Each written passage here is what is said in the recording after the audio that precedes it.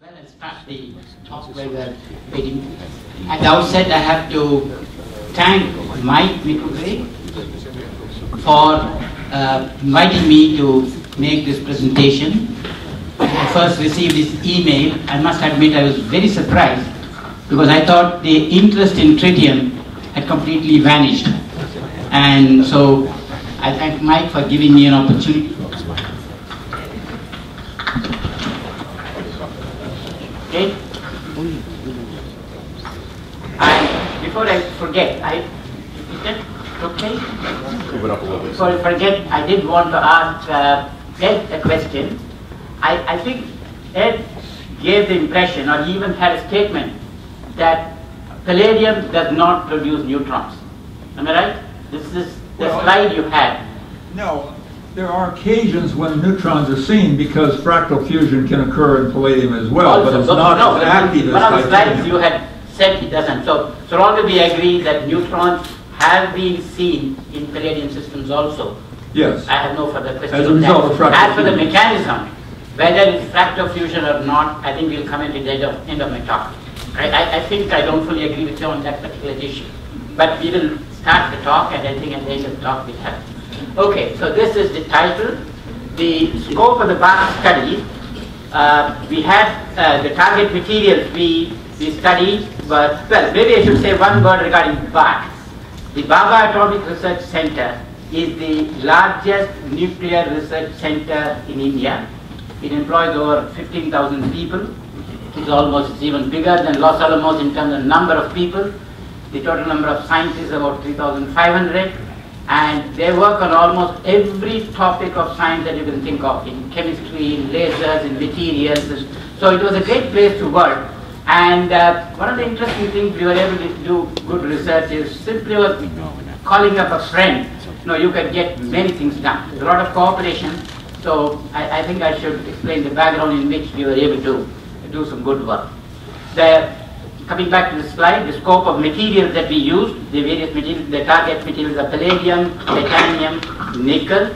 The hydrogen isotopes used were deuterium, hydrogen of course, the loading techniques, electrolysis, gas, plasma loading, and we even had some experiments with ion beam loading. The objective of the program was, of course, to establish the nuclear origin of the phenomenon, primarily through measurement of neutron and tritium. We did not concentrate on heat at that point in time. The beginning. On the 24th of March 1989, we saw a, a four-line news item in the Indian Times of India newspaper regarding the Fleischmann Pons press conference. And the news item specifically said that uh, Fleischmann Pons had measured neutrons. And so we got very interested and since at that point in time we were all, most of us were involved in fission reactor experiments and uh, we were excited to learn that a little test tube could produce neutrons in a simple electrolysis experiment. As the head of the neutron physics division at that point in time, I could therefore quickly mobilize neutron detectors and by a remarkable coincidence, we happen to have the world's biggest cold fusion cell all set to go right onto the table. Now, I'll explain to you how it happened. There's a company in Ireland called the Milton Roy Company, which commercially produces palladium D2O electrolytic cells. They called it a pure hydrogen generator. And they, since it uses palladium silver alloy as the cathodes, it was uh, marketed for producing pure hydrogen separated from the oxygen. We had purchased one of these and we were in the process of converting this hydrogen generator to a deuterium gas generator for our so-called hot fusion plasma fusion experiment. So on 24th of March, when this announcement was made, just happened, coincidentally we were in the very process of converting from NaOH to uh, Na, uh, uh, sodium deuteroxide. As I said, it uses palladium silver alloy tubes. I think Jed Rothwell made a remark yesterday. It just so happened this company particularly used the best palladium silver alloy, which gives the best results for diffusing deut- uh, deuterium hydrogen through that. This cell had a total surface cathode area of 300 centimeters square and inner and outer pipes served as the anode, and in the annular space, there were the 16 tubes. The cathode tubes are distributed in annular space, and the maximum current capacity was 100 amps. That makes it the world's biggest fusion cell at that point in time. And I don't think anybody has operated one bigger than that. this is a picture of the Milton Roy cell. You can see the palladium alloy tubes, tubular there, the 16 tubes, and the gas goes through the walls of the palladium tube and comes out in the bottom. That is the pure hydrogen. And as I said, we, the original manufacturer had uh, recommended we use NaOH, and all we did was to replace NaOH with NaOD. The neutron detectors used, we uh, brought in uh, NE102A, proton recoil type plastic scintillator detector, sensitive mainly to neutrons, fast neutrons and gamma rays.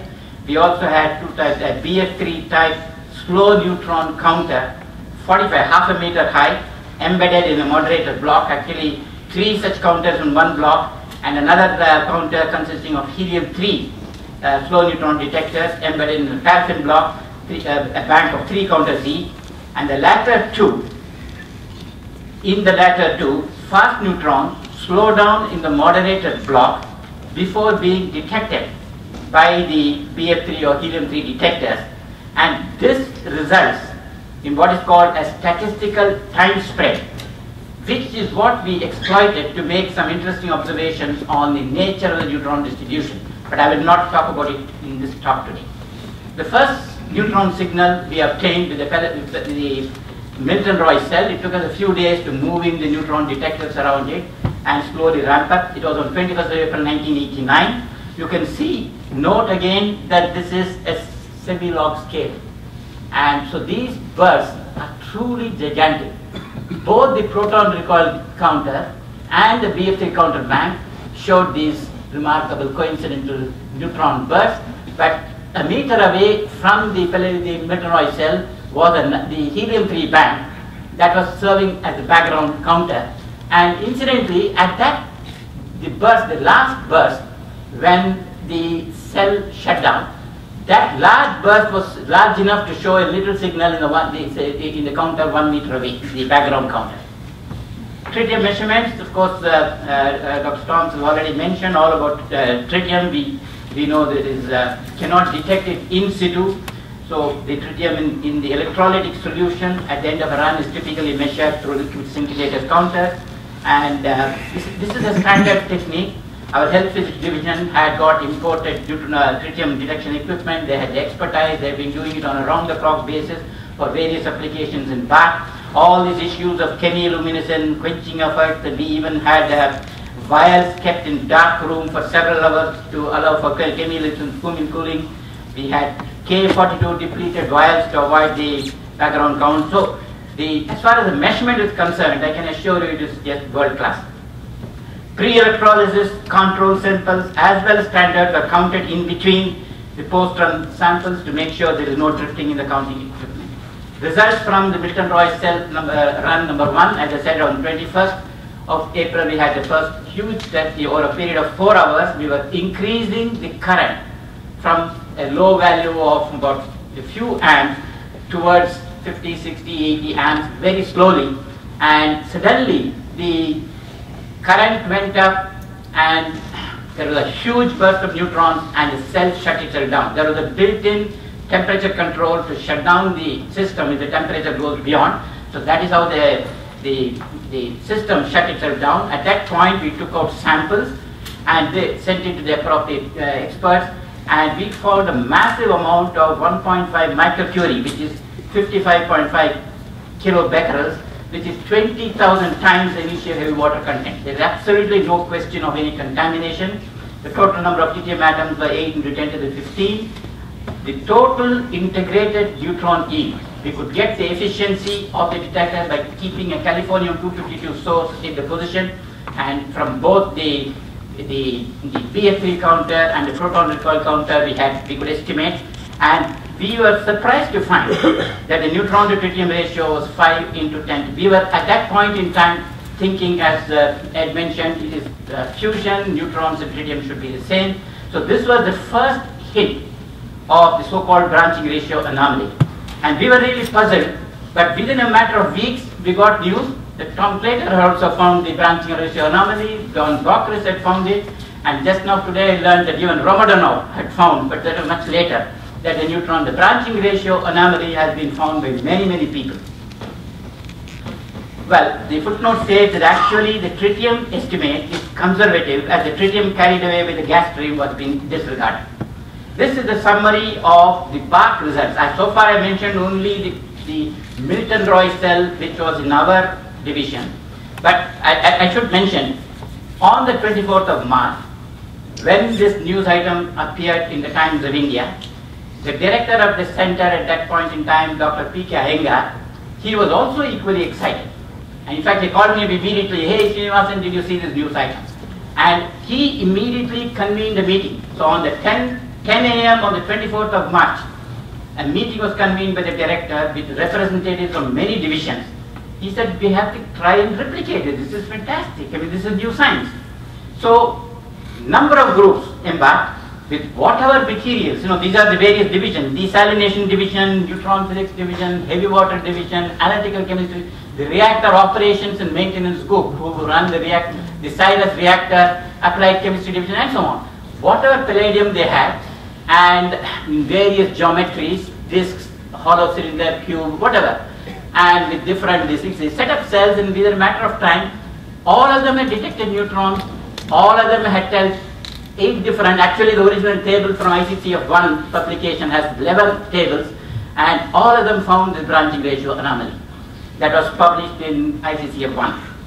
There were an additional series of 11 cells where the neutrons were not measurement. They did not have access to neutron detectors, but they did measure the initial concentration of the tritium, final concentration and the increase. All these 11 cells also found tritium. I don't want to go into so many becquerels. And this is from ICCF 1 proceeding. Now, the question of the neutrons and tritium, several independent cells indicated that neutrons and tritium are probably generated concomitantly, more or less at the same time. But we don't know which comes first. And you can see here in one of the cells, we continued measuring the tritium levels. It came down, suddenly there was a huge burst of neutrons, and the next uh, tritium measurement showed an increase. Now, it could be possible that a huge burst of tritium probably gave rise to neutrons as a secondary reaction. That is a possibility.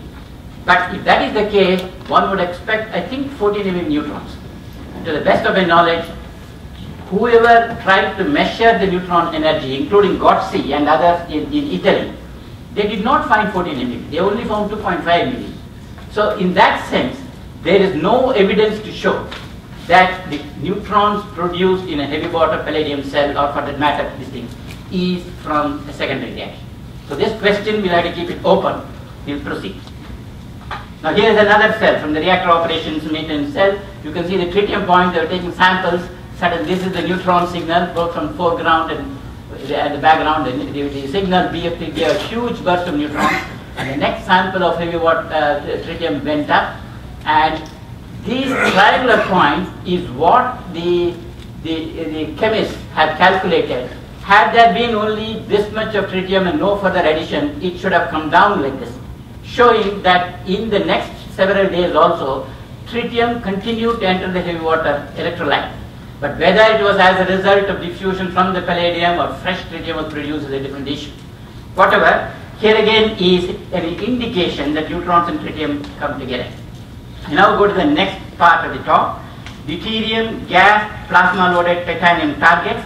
We got interested in the titanium, deuterium gas loaded titanium from the reports we obtained from the Frascati group, uh, Scaramuzzi and De Ninno, uh, others, had said that if you have deuterated titanium chips and you subject it to thermal cycling, we observe neutrons. To the best of my knowledge, they did not mention about tritium. But like I said, I think Dr. Mark Prelas uh, in this institute was also excited by the same word. They have also set up, they look for neutrons. I think they published, they, they did observe neutrons. So we repeated these experiments and we used autoradiography as a very powerful tool in many of our studies. Autoradiography is a very simple technique of detecting radiation emitting zones It is free from electromagnetic interference. It is almost like the CR39. It, uh, you use standard medical X-ray films, 10 micron grain. At times, uh, a stock of several films is used, a stack of several films, one behind the other. High sensitivity if it's integrated over a long exposure time, typically overnight to 60 hours exposure, gives uh, resolved images. Developing time was only a few minutes. We even got excellent results in Polaroid film. Directly, it gives a positive. In some cases, the films were placed on both sides of the sample. Now here is one of the first autoradiographs. I think this is the first. Within a few days of receiving information about the Frascati experiment, I happen to have in my drawer a conical uh, cathode and, uh, and cylindrical disc like a, uh, uh a diamond. And we had used these for uh, discharge experiments or whatever. So I wanted to find out if there is any evidence of tritium. So when we placed it, we got a beautiful uh, image indicating some radioactivity or some this. This is this dime-sized uh, cylindrical um, flat piece of deuterated titanium disc showing a number of spots, but not all along the rim where it has been machined, where you have probably created a lot of defect sites. Invariably, you do get uh, tritium lodged in that. It just, we don't know where it came from, when it came, but these are all in initial indications. Now, an interesting point is that the 18 keV tritium beta are able to excite the uh, uh, K alpha K beta X-rays of titanium, which is 4.5 keV, 4.9 keV peaks. Therefore, when you take an autoradiograph, partly directly the, the, the beta from tritium. Usually we had a very thin film of mylar or something separating this from the film so that there is no other chemical or scratching. Autoradiography demonstrates the existence of highly localized hotspots on the target surface whenever where the tritium is concentrated. So right from the beginning, we started noting these spots in several occasions. Occurrence of spots all along the periphery of the disk points to the important role of lattice defect sites which are created during the machining process. We will come to that again. I now come to the next study. I think uh, Dr. Uh, uh, Rob uh, mentioned this on the first day. It's a very interesting piece, a continuation of the uh, titanium shavings experiment. By that time, since we had already learned about the branching ratio anomaly, we knew that neutron production is too small. We didn't really concentrate on neutron measurements from the next round of experiment. Here we had, I, am going to give you a little bit more details of the experiment. We used titanium metal shavings made using a lathe, 3 to 8 milligrams each, thoroughly cleaned in acid, water and so on, evacuated, heated 850 degrees, cooled in deuterium gas, amount of gas absorbed was measured through a pressure drop using uh, uh, well, I think it's a uh, acid manometer, uh, oil manometer. The, type, the TIDX chips were then dropped into a, a cylinder containing liquid nitrogen. After loading deuterium, these crude looking chips taken directly from the machine shops after cleaning and unloading, and the cylinder was periodically refilled with liquid hydrogen whenever it evaporated, and later we looked for the presence of tritium in these chips. We had about a thousand chips in, in, in that particular lot. It was divided into three. We had chips which were not loaded with deuterium. We had chips which were loaded with deuterium but were not subjected to the liquid nitrogen treatment. And finally, the test chips which had been dropped into the liquid nitrogen. All of them were analyzed very carefully in front of a sodium iodide detector and other beta detector. Eventually, by separating in lots, counting lots of 50, then dividing into two, and we were able to isolate initial deuterium gas which was as low as 10 to the mi mi minus 13. Now here is an autoradiograph of one of the best chips, I should say.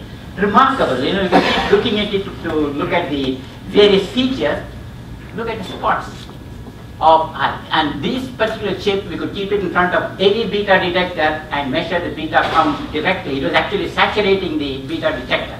Of course it was giving the 4.5 keV titanium, but look at the background nature. That means the the the, the the signal, the, the, radiation going from the bottom is actually throwing its own shadow. It's a fascinating picture. A large amount of tritium, just a chip got from the machine shop, loaded deuterium and dropped into liquid nitrogen.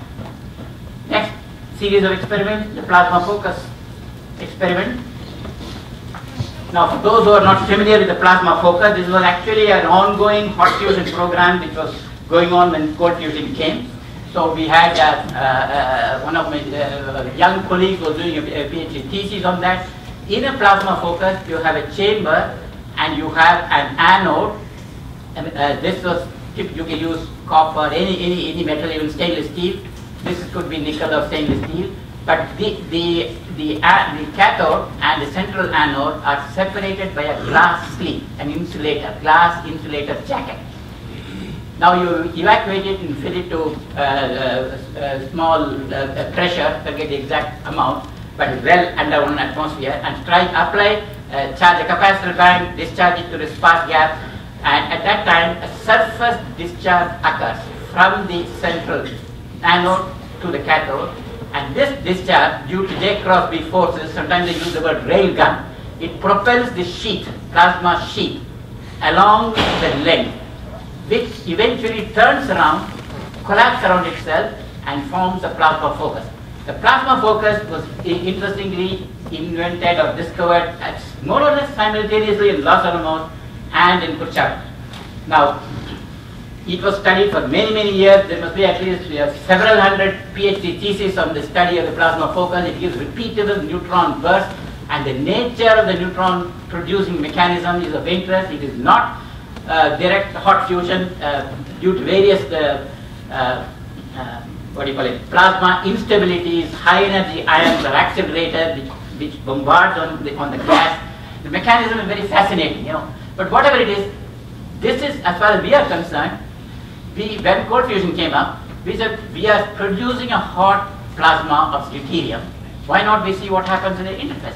So that was the purpose. We stuck a titanium rod and normally they were using copper. So this was a plasma focus and we were surprised, one of the, this is the actual setup, you evacuate in infinite and have 50 shots. Uh, the, uh, this is a photograph of the titanium, central titanium anode after 50 shots. But this is the autoradiograph of that very same central. And again, when we did the estimate of the tritium, it was an amazing 10 to the 15 or whatever atom, large amount of tritium. Now, we could go back and calculate the total number of neutrons actually produced. It was in the region of 10 to the 5 to 10 to the 6 neutrons per burst. So if you integrate it, you cannot uh, account for this tritium from the conventional hot fusion mechanism. Now the interesting thing is this is the same anode on a Polaroid film with, uh, the image resolution and so on. This is a positive, the other is negative you can see where the tritium is lodged in all those cracks and bleeds. I think uh, uh, uh, Ed would be interested in knowing. It's obviously some kind of mechanical defect regions. The remarkable uh, point about this particular uh, material, titanium, is the this anode was repeatedly auto-radiographed several times for the next five years. The image changed very little indicating the amazing stability of tritium in a titanium lattice. I think there is some lesson in that for us and I would say tritium, therefore by implication probably hydrogen and deuterium also. Now look at the same image, 1990, next day, two days later, one week later, 1991, 1995, same rod, tritium doesn't go away. Okay, I come to the next topic, aged titanium deuteride targets. At that point in time, we have been playing around with titanium and deuteride and tritium production. In our laboratory, we had a large number of titanium deuteride discs on a copper backing. Eight of them were imported from Amersham Labs, remaining were fabricated in way back many years earlier, maybe 15, 20 years earlier, during the period 1972 to 1981. These were obtained for dosimetry studies using accelerated generated DD neutrons by the Health Physics Division. This is the titanium film thickness, 3 milligrams, the D to titanium ratio. The thin film was fully loaded with deuterium this is, they have given the figures. The Amersham, they supply a certificate of, about the amount of deuterium there. I given the average value. The actual value is given as 0.345 for this target, 1.35 for another target, but somewhere around 1. we speculated that cold fusion reactions might have occurred and tritium generated over a 9 to 18 year period. Just, just speculation. And therefore we performed an autoradiographic measurement and to our surprise, every one of the 12 aged targets gave a very deep foggy. And later we found the images are uniform, not spotty, as in the case of mechanically, uh, uh, shall we say, machine mechanics. Mostly in the tens of mega, megabecquerel region, but the highest was 200 megabecquerels. Presence of tritium was confirmed by five different techniques, and the T to D ratio in that was 10 to the minus 4, which is much higher than that of the tritium in a CANDU reactor. So we wrote to Amersham, is there a possibility that you supplied us the, the, the, heavy water you used in producing the TID targets was contaminated? Back came the reply, those days it was telex, we didn't have missing. They said it's absolute nonsense. Our procedure is so and so, we take perfect this thing and this is it, this is the certificate. There is no question of any tritium contamination. Then we wrote back to them and said, this means you are pro, and cold fusion. And obviously, they didn't like that. they left it at that, but we still have that message. But the interesting thing, so here is the message, if, if this university has TID targets lying around, please take it out and look for tritium. I'm pretty sure you find tritium there. Over the years, it has just been produced. This is the the beta spectrum. Look at the counts. Large amount of counts in one of the strongest CDS 996. That was the okay. This summary of the BARC work, which what much of what I have described was done in the first one year, and it was published in fusion technology. So we had three papers in ICCF one, but all of them were combined. It was published in fusion technology. I have to thank George Miley for this. We had uh, several correspondents. It's a huge paper, 50 authors. And it was very kind of him to offer to publish the whole thing in, in I think, the August 1990 issue of uh, fusion technology. Thank you, George. Part two of my talk, this was done after the, am I okay on time? Okay, I'll continue till the panel. Okay, quickly continue. Tritium in nickel hydrogen systems, this was done during the period 1992 to 1996. We have observed tritium both in nickel cathode light water electrolytic cells as well as gas, hydrogen gas loaded self-heated nickel wire, which was published in 1905. Our interest in the in the nickel light water system was triggered by the paper by Randy Mills in fusion technology, a lot of you know about it, where he claimed he was observing excess heat in a nickel hydrogen electrolytic cell, although he said that it is not due to fusion. Very shortly thereafter, it was reproduced, replicated with Noninski, and he said, well, if you can produce heat with nickel hydrogen, nothing like that. That's how we got into this. I took the trouble of visiting uh, Randy Mills in his uh, laboratory, had long discussions, and I even remember telling him, listen, I don't agree with your theory, but I fully agree with your excess heat. We published four papers during that period, three, as you say, three, four, and five, and even as that uh, Mike mentioned, uh, my studies and on uh, on the excess heat. Now, all over in the electrolytic cells, they were open cells. All of them gave excess heat, not I shouldn't say all of them, quite a bit. We published it at the Nagoya meeting. A lot of people had doubts. And so when I had the opportunity to come and work for six months at SRI, Mike gave me the opportunity to, to replicate the measurements. And this time we had better equipment. We, I, I could put the cell on a digital balance and keep a track of the weight of the cell and the open cell, the gases come out, were recombined, and the amount of uh, water produced was simultaneously measured. And whatever is, through these studies, I was convinced that the so-called excess heat that we measured and reported at Nagoya was due to recombination. Because up until that point, many people, I mean, I was not an expert in electrolysis, I learned that I shouldn't dabble in electrolysis without knowing too much about it. but uh, people said, well, recombination, if at all, is only a, a few percent. So we reported as much as 70, 80 percent.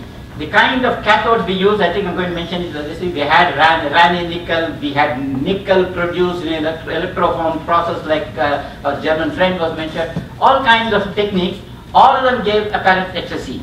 But one interesting thing is, after we found that excess heat was due to recombination, I came back to Bombay and we set up fresh cells. Forget about excess heat, at least for the tritium. Unfortunately, the few cells which I operated SRI, we did not find tritium. So I was really, you know, okay, I agree excess heat was false, but is the tritium also false? So we set up fresh cells, I'll come to that here. These tritium in light water, in, in nickel light water cells in three different labs of BARC, January, I thanked Jed Rothwell at that point in time, after seeing uh, uh, Randy Mills' paper and Noninski's paper, he came up with a, a, protocol which he circulated a lot of us. It was very useful. So we had open cells with nickel cathode, etc. I'll skip all that typical line. Okay, here is a set of results. This is the so-called excess heat, but forget that last column. Oh, the last column gives the tritium. This was reported in Nagoya, and we had 7 out of 18 cells, first set of cells, indicated tritium. As I said, just forget about the excess heat, the open cells, the so-called excess heat. But the good point is, obviously our calorimetric technique was perfectly valid because once you account for the excess heat, it fits in very well. So our calorimetry was good. It is just that we thought that this was anomalous heat. We compared it with V minus 1.52 into I instead of uh, V into I. If, it, if we had compared it with V into I, we would have found a negative uh, run, a negative heat. Okay, now these are additional cells also published in the uh, meeting. In these, 7 out of 11 gave tritium. You can see the tritium level, the background level, and so on, everything is given. So, note the last two cells, which is what we call OM for online monitoring. I'll come to that in a minute. New dedicated liquid scintillation spectrometer. So, people accuse that, well, you're sending your sample to the isotope division, health physics division, they are handling samples from other labs, maybe there is cross-contamination. So I said, okay, we managed to convince the head of the division, we purchased a dedicated new liquid scintillation spectrometer in May of 1993 and installed it in the chemical engineering division where no other tritium work is being done. It had a much lower background sensitivity of 1 becquerel and the technique, all the techniques that Ed mentioned were followed, micro distillation and samples, all stock solution was first checked for initials, etc. So Again, we found tritium. These were now repeated and, and, and presented at ICCF 4.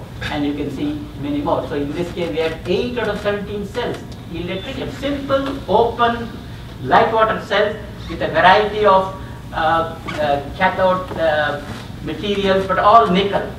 And electrolyte, Li2CO3, sometimes we had enriched lithium, and a variety of things. Everything is in the ICCF 4 proceedings. Time study of temporal variation of tritium, six new cells, uh, cells were set up using separating funnels so that samples could be drawn from the bottom without disturbing the cell.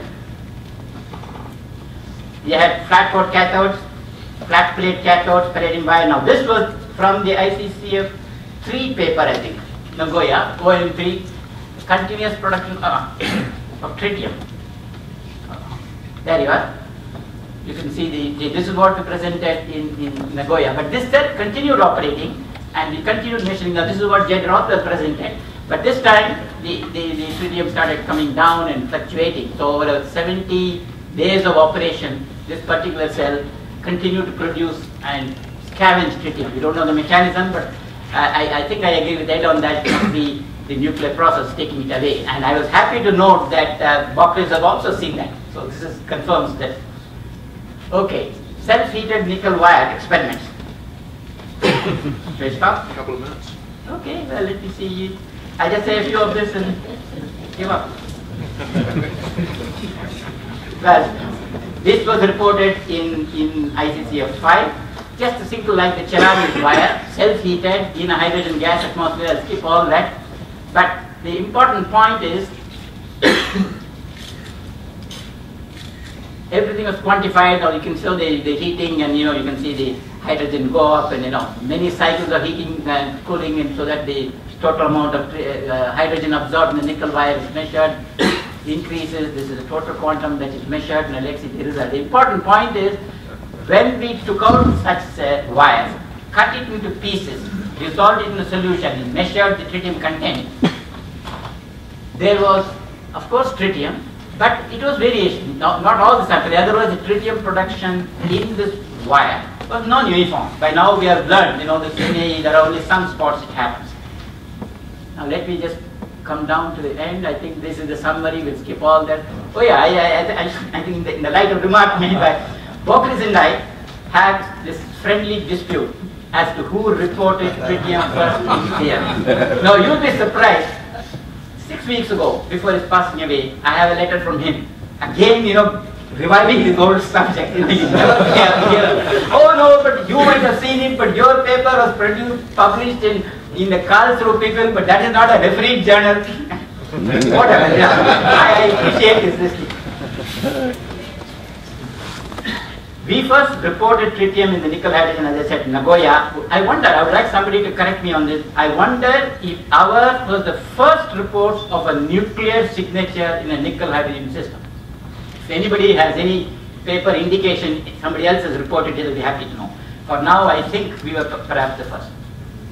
To date, in summary, we have reported finding tritium in 25 out of 52 nickel hydrogen cells with a 50% success. Rao stopped there, was kind enough to tell me at the Nagoya meeting, here, he had referred to a plasma focus experiment, was kind enough to say, you know, your plasma focus is what triggered my interest in gas discharge. I'll stop here, thank you very much.